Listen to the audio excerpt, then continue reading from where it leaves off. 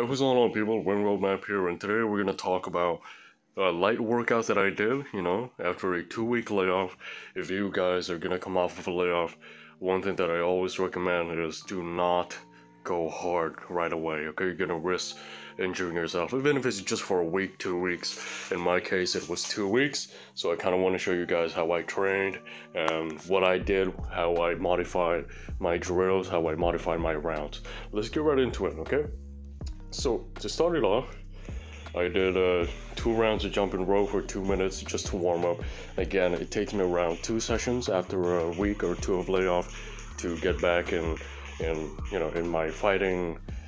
I wouldn't say fighting shape. It's just the the amount of time that it takes to to get your oxygen back and to get your gas tank back. It usually takes around one or two sessions, you know, to get back to it and to get used to the pace that you're going you're going at before you had that layoff, okay? And then after that, I did shadow boxing for three rounds of three minutes, as you can see here. One round is three minutes, and then in a round there's three combination. I do each combo for for one minute, and then I have a certain number of reps that I want to do in that one minute. Okay, so for this one, it was a jab for one minute, double jab for one minute, and then one one two to the body for one minute. All right, so check it out. Bam. All right, so what I did, by the way, with this one is I finished my whole workout and then I just filmed these videos uh, as a demonstration kind of thing. I did it for demonstration purposes, so I didn't go, or this is not the footage from the actual workout, this is just the footage after the workout, okay? And this was meant for demonstration purposes only, like I said. So the workout was already done when I filmed this video. So here, double jab, okay? I did that for one minute and then I did a one one two to the body for one minute and then I rested and then I did another set of three combos for the next round and then same thing for the next round. The volume kind of ramps up as the rounds go on. All right after that I did this one okay? So here's how the round looks like. I did three rounds of heavy bag. 50 seconds or 60 seconds was for freestyle 50 seconds was for straights and then 40 seconds was for punch pot punch outs. I'm gonna show you guys how to do that later on. But basically, one thing about me and how I view the heavy bag, I just use it for stamina, okay? If you want to develop your technique, you want to develop your skill, you want to develop your footwork, there is, to me, there's nothing better than letter A, the mitts, or letter B, shadow boxing, okay? For me, the bag is just for power, it's just for stamina, it's just for shoulder endurance. And that's why I don't really do a lot of uh, freestyle combos on the bag because most of them are unrealistic. The bag is just going to be there most of the time when I'm throwing my combos, I'm going in and out, I'm moving my feet. So I do most of my combos in shadow boxing. I don't do it on the bag, okay?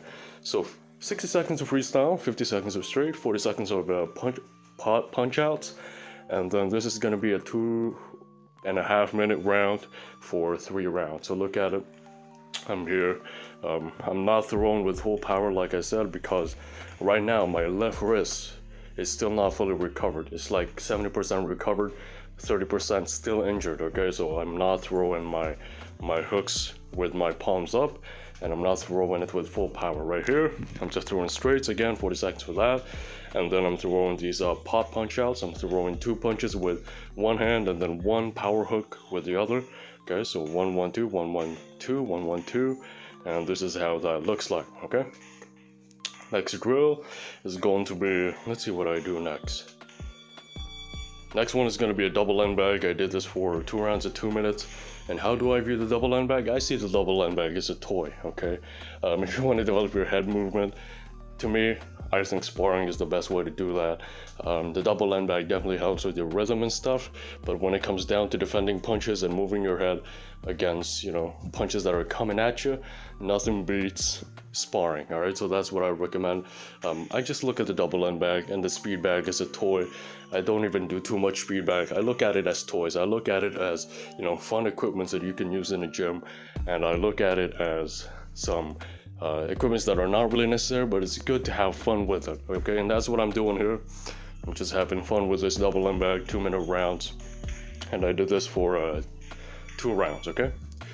Next up, I went on the uppercut bag, and then and then I did uh, slip counters, one minute inside slip, one minute outside slip, And uh, basically, what I did here was I did two outside slip combos, outside slip, uppercut into a left hook, and then outside slip, right hand into a left uppercut.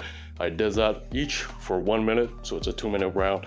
Then I rested. I did another two minutes of inside slips. Okay, so inside slip, uppercut into a right hand, inside slip, left hook into a right uppercut. So that's the combo that I threw, and that's only two rounds. Okay. Next up, I did neck curls.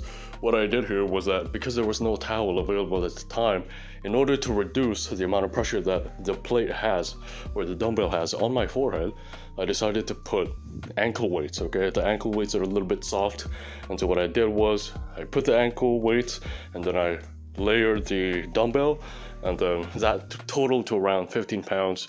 The ankle weight is 5 pounds, the dumbbell was 10 pounds, and then I did a three sets of 50. It's important to do full reps on these, don't cheat it, okay? And then I went on to 5 pound side curls, again 3 sets of 50 per side, and yeah, just kind of alternate right there, no rest in between.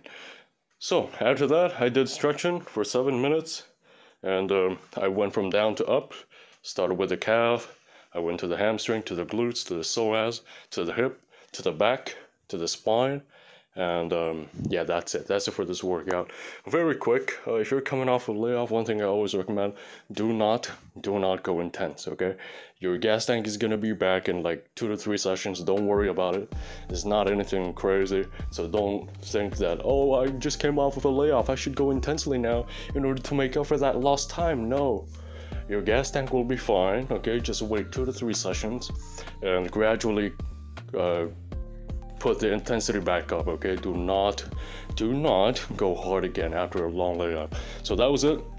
My first workout after a two week layoff due to a vacation and um, that's how i train today